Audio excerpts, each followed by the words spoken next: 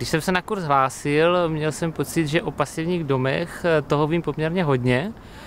Uh, už z principu toho, že pár pasivních domů jsem již kreslil v rámci výrobní dokumentace, ale tento kurz mě posunul výrazně dále v celé škále informací, které se na pasivní domy navazují. Byl naprosto komplexní, zahrnoval všechny obory stavebnictví, které se pasivních domů týkají a rozšířil mi znalosti v oborech, které přímo neprojektují. Nevím o jiném podobném kurzu tady u nás v České republice, který by opravdu takhle obsáhle problematiku pasivních domů eh, zvládl.